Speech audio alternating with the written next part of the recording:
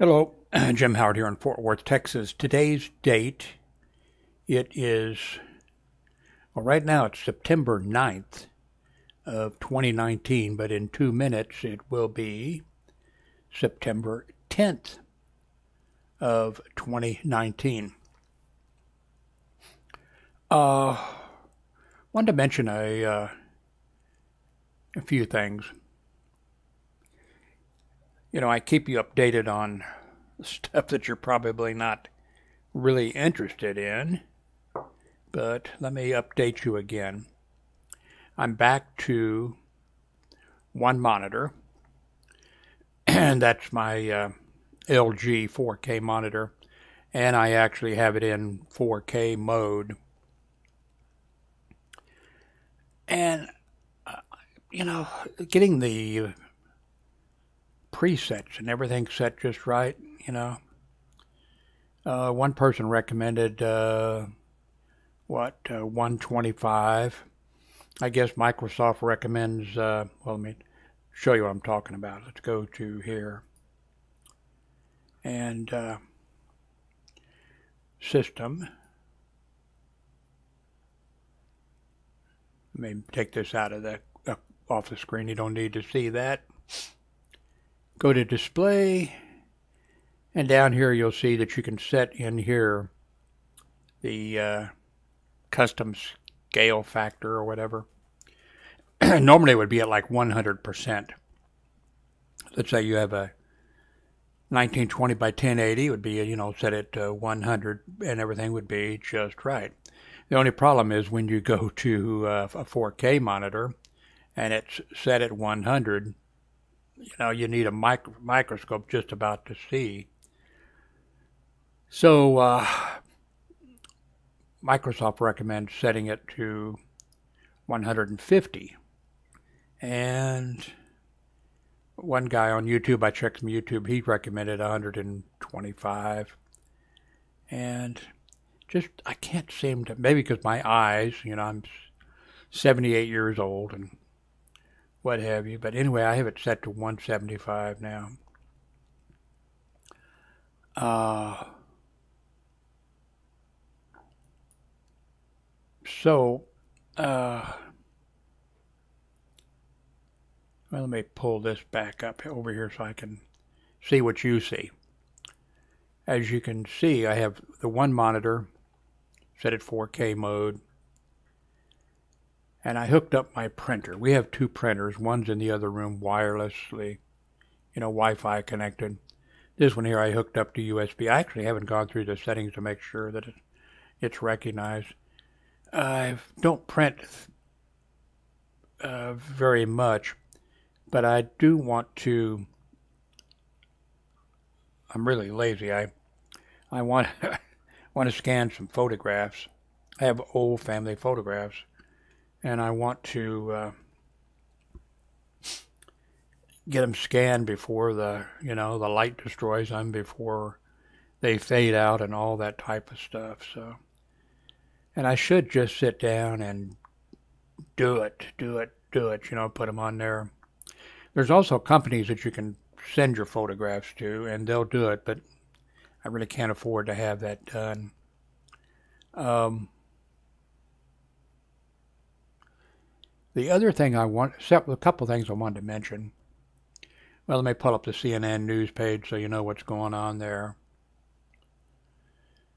Uh, you can sort of look at my videos. Usually I have the CNN page. You'll pop up and you can get a little idea of when it, you know, when it was, what was going on. Um, I posted this video uh, yesterday, and it's uh, the uh, Weather Bureau disavows uh, the National Weather Service tweet that they made when Trump uh, commented about the storm hitting Alabama. And um, that got me thinking, and a few other people commented also that.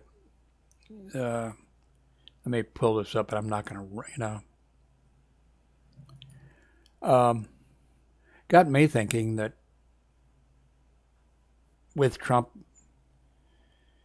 uh, saying that the you know the Weather Bureau was you know incorrect and that uh, they tweeted out or you know refuted him and then the higher up administrative or whatever uh, tweeted out and refuted uh, or uh, or they put out a uh, announcement saying that the uh, weather department people, whatever their people, you know, their their subordinates, that they were incorrect in uh, refuting the uh, uh, Trump's claim, and that's sad because those people should be sticking up for what's right and correct, and for their, you know, for their employees, the people down, but they caved apparently. You know, apparently Trump said, you know, and they did it. And now there's some people wondering, you know, did they did NOAA actually do that? I mean, he may have ordered them to do it, and maybe they refused or whatever. And I mean, there's you can't put anything past him now. Maybe he had somebody in the White House, you know, get stationary and uh, make, you just don't know now. We can't tell anything, and that's what was getting me and a few others I've seen comment about with Trump doing what he's doing. It's going to be where you can't believe anything that he says, and also you know, in the future, if uh, when the well, not if you know, when the weather department puts out um,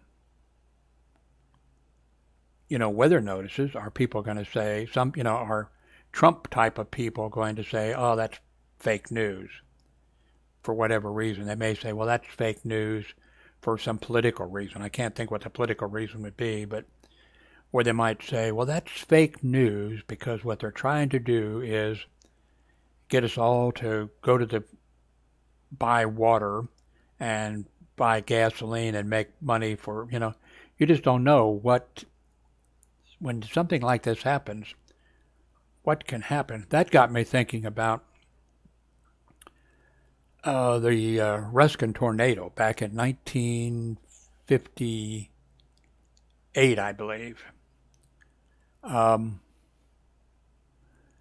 in Kansas City, Missouri area. Ruskin actually is part of part of Kansas City, Missouri, uh, but I think it's I don't forget exactly how it worked out, but like Ruskin Heights, they had their own school district and stuff like that. So, I mean, like Ruskin Heights wasn't a city, but it was in Kansas City, Missouri, and part of Kansas City, Missouri.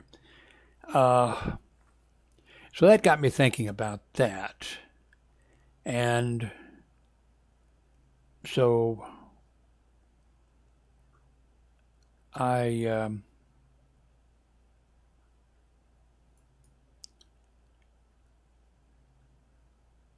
commented on, well, people were commenting. In fact, I think there's been like only 115 views, but we got seven thumbs up, four thumbs down.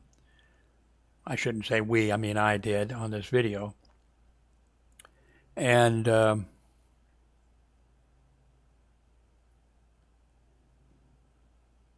let me go. Let's see, I'm already at it, aren't I?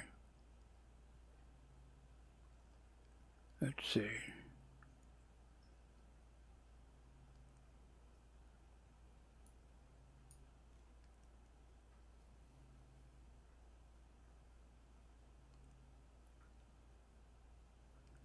Why is it displaying like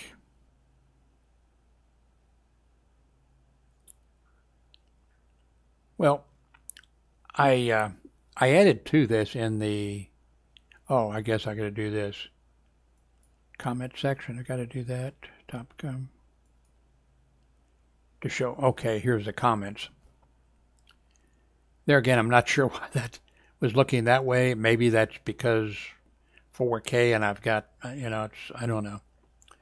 Um, but here I commented that uh, in the video, I attempted to tell the story about a federal employee of the National Weather Bureau, Joseph Audsley, and uh, okay, it was 57. Uh, so you can read about it here, and then there's some links. This has nothing to do with Donald Trump, by the way. Um, but back then, what we don't remember, what we forgot about, and I was, uh, well, a year later, um, what we don't remember is how crude and how much changes, how many changes have been made, you know, by the Weather Bureau and uh, all the different branches. And I mean, it's not just somebody forecasting, you know, the weather for Kansas City, Missouri, or Fort Worth, or whatever. You know, it's a, they have a lot going on. They have a lot on their plate. They have people who are doing forecast for shipping. They have uh, aircraft, you know, not just over the United States, but they have responsibility for. Uh, they have a lot going on, a lot of different offices, a lot of different people, and uh, back in 1957, I didn't know that that uh, till recently. The weather and it was using teletypes, you know, so they would, you know, do the teletype, and the teletype would appear, you know, in a radio TV station would pop up there, and the people could read it and uh, on the air, you know, that type of stuff. They really, the Weather Bureau was working really with. Uh, I'm sure back then they probably thought it was state of the art, but pretty crude. And the Weather Bureau back then uh, did not allow, you know, it was. I'm not sure if how they had it spelled out, but the, you know the people doing these reports they were not allowed to say tornado warnings. They couldn't put you know or I'm not even sure they could put severe thunderstorm. They definitely could not put tornado warning because it was considered back then the management or whatever considered that well we're not able to really predict you know that it, it's a tornado and it would be you know uh, we don't want to alarm people. We don't want to uh, whatever. But uh, this gentleman here was working in the I'm not sure what area. There's some links that'll tell you about it. His complete story, in fact, or the complete story of uh, the Ruskin Heights tornado. But he was there, and he got uh, was getting the data you know, crude radar thing with the, you know, the loop or whatever, uh, reports from a couple different aircraft that saw a tornado on the ground and whatever. So he he put out, you know, a urgent, you know, tornado warning, take shelter, you know, take shelter or whatever. And then the storm traveled like 71 miles, I think it was, on the ground killed a few people, and it got to Ruskin Heights area. I think it was 41 people were killed. I mean, Ruskin Heights was leveled. And because of the warning that he put out, there was people when they, you know, they took shelter then because they'd never heard tornado warning, it's coming, you know. And uh, one of the stories here that I linked or whatever, I think it was 30 people or whatever, where they were piled on top of each other in a basement. By the way, the Ruskin area did not, for those homes, they did not have a lot of basements. I know because, um, let's see, this, this storm hit in 57. I was in high school. My mother was an LPN. When the storm hit, she went out to res- a licensed practical nurse she went out to uh, Ruskin Heights and volunteered to help. I was in high school, but I was in the uh, civil defense, the Ground Observer Corps. Uh, we watched for enemy aircraft. Our post was up on top of the military uh, Army Record Center on their roof. And uh, there's the little badge that I had United States Air Force, GOC, Observer. Um, there's a link to a little bit of information about that, about the Ground Observer Corps. Well, they were disbanded. The Air Force didn't need us any longer, and uh, in 1958, one year after Ruskin Heights, uh, I was still in the civil defense, but the Ground Observer Corps was Air Force no longer needed us. And so we were trained to become weather observers. And we were told uh, by the guy who came from the Weather Bureau for our training that we were the first trained weather observers. I find that hard to believe that in 1958, but that's what we were told. Maybe he meant the first weather observers for the greater Kansas City area, or maybe meant the first for Kansas City, I don't know. But anyway, we were told that we were the uh, first trained weather observers, probably because one year before that, Ruskin Heights had 41 people killed in a uh, um,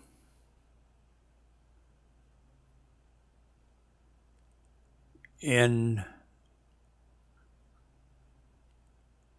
see I started to work at St. Joe Hospital in 72 okay in 1970 or 71 someplace in there something like that I had a patrol service for about a year. I patrolled, and um,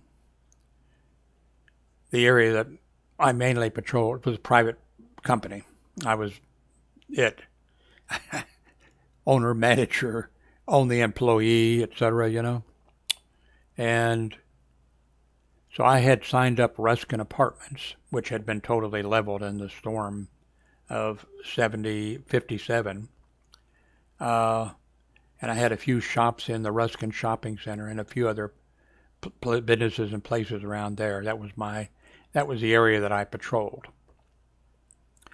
And when it would get cloudy, or especially if the alarm siren sounded or whatever, all the people in the Ruskin area would be, they'd come out of their house and they'd be looking up at the sky and whatever. That was how traumatic that storm was and how much it scared those people.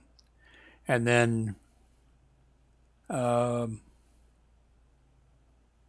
when would that have been? My wife and I, we lived in Ruskin Heights in one of those houses that had uh, been in that area and probably was destroyed. I don't know. No, it seemed like it was pretty old. Anyway, uh, it had no basement, by the way. And uh,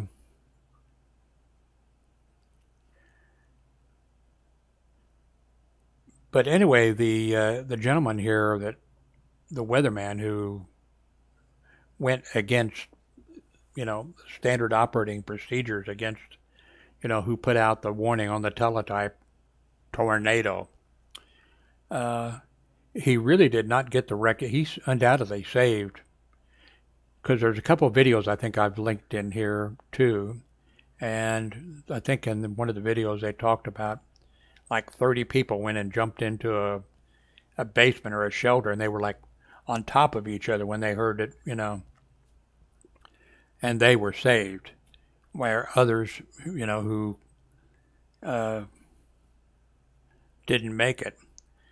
So he was undoubtedly a uh, hero, a, a, just a, you know, rank and file weather department employee, and he got zero recognition uh, you can read in the, one of the, the, things I've linked here that his boss said back at the time uh, he was just doing his job. So about 50 years later, whatever, a book comes out, and finally he gets uh, the recognition that he deserved for actually, you know, being a hero and uh, saving lives. Now, the other thing I wanted to mention was so I I posted some comments, or the links that you see underneath this video that I made. But let me go to, oh, that's where I needed to go. Let me go to my channel page. That's it. Uh, I think I asked one time, nobody commented. How many of you see up here community? You know, it's home, video, playlist, community. Are you actually seeing community? Because nobody's really commenting or anything. So I posted, which is a copy of the thing that I posted as a comment just here. I posted uh, about the National Weather Bureau and uh, the uh, Ruskin Heights tornado with some links and whatever here. I never see anybody commenting here at all, and I'm not sure. Maybe this is a function that is not turned on for uh, for my site. So you might let me know. Well, of course, people that's that's another thing. People don't go to the home page or channel. But if you do go, do you see community up here? Uh, so here's what I, you know, I have posted in here.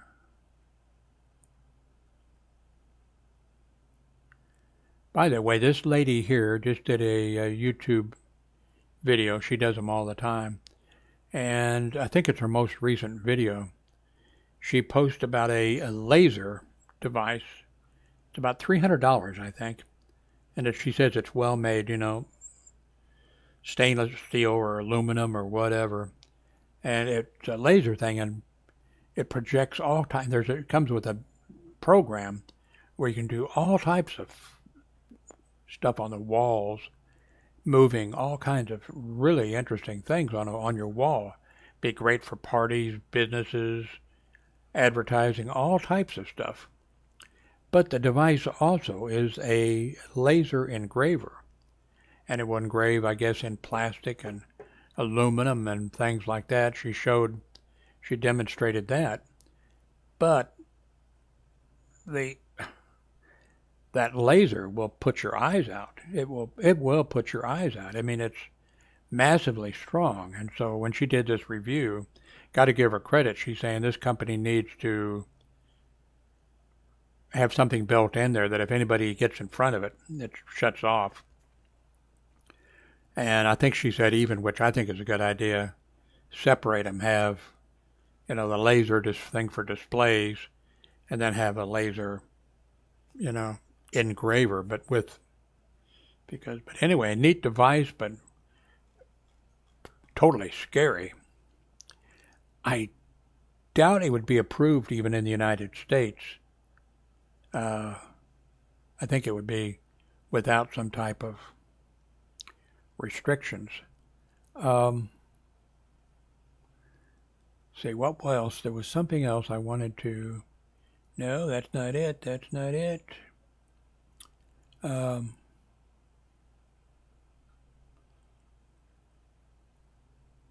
That's not it. What else did I want to mention? I mentioned that we lived in the Ruskin area after the storm. I mentioned that I had a patrol service and I patrolled, you know, the, the mall that, or the not a mall, it was, you know, strip mall or whatever, Ruskin Heights Shopping Center and the Ruskin Heights apartment and whatever. Um,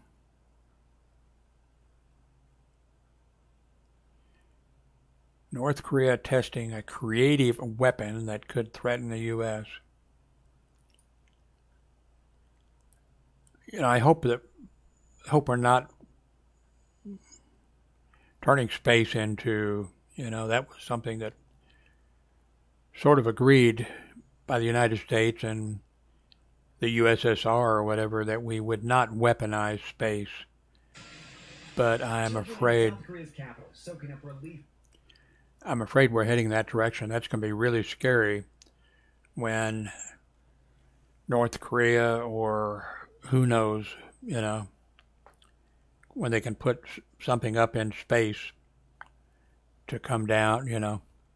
Or just think, even if they didn't, of course, that'd be an act of war. If, it, but just think if they just took out um, our communication satellites or, uh, you know, the GPS tra- tracking. Uh, I mean, it's just we Trump wants to create a space force. What is he? Was it a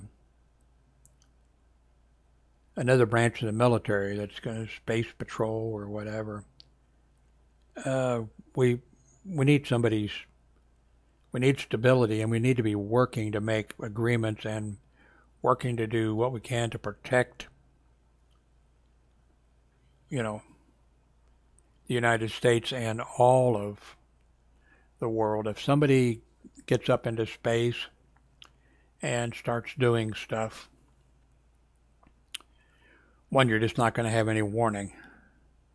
And then two that the damage it could could do could be you know, catastrophic. Um, there's so many dangers in the world. We need we need people who are sane, moral, decent, hardworking, thinking, educated people. You know, working to solve our problems. We don't need unstable people that are uh, creating problems for us. Oh, I wanted to mention something else. You know, this audio has been working really well for me with this micro, you know, with this headset. But let's see, Amazon's what I'm looking for. Amazon. Where is Amazon?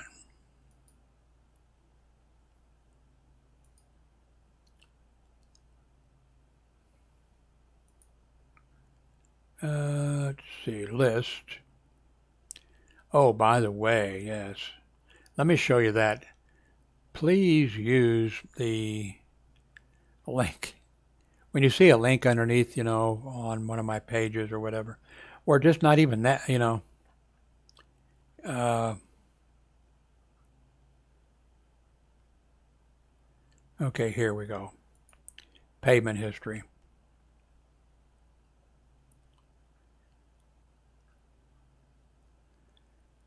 Last month uh, from people clicking on my link and going to my Amazon thing, I made two dollars and twenty cents. The month before, I made a dollar seventy-four. Uh, you know, so altogether it's three ninety-four. I only get paid when it reaches ten dollars. You can see here, you know, uh, it doesn't cost you anything and the money that uh, let's see Amazon. The money that I would make that way it could be um, could be nice. Let me purchase things and uh, um, but anyway this headset that I'm using has worked out the audio has worked out really well but I saw some reviews on YouTube of, see, what am I looking for? Yeah, okay. So, here it is. This got really good reviews. It's a lot. I'm using a Logitech mouse.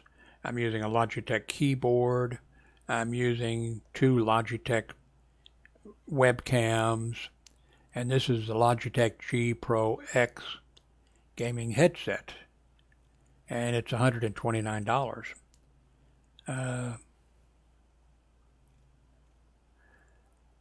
now, let me show you something to make it easier for you. If you're going to be buying something on Amazon or just going in to look, if just type in jimhoward.me jimhoward.me and just click on that and uh, go there. Now here you are at my, you know, Amazon store. Now you don't have to go to, you know, any of these and buy any of these things. Uh, just going to jimhoward.me. Then if you go any place, and uh, let's see, what did we just see here? Whoops. Okay. Just go any place. Now, if you purchase this, uh, which by the way appears to be the uh, one I purchased, let's see, should say that I purchased it. Uh, maybe it's a different model. Uh, but that's one I have it. I have it. I have the LG, and it looks exactly like. No, the base is different on this one.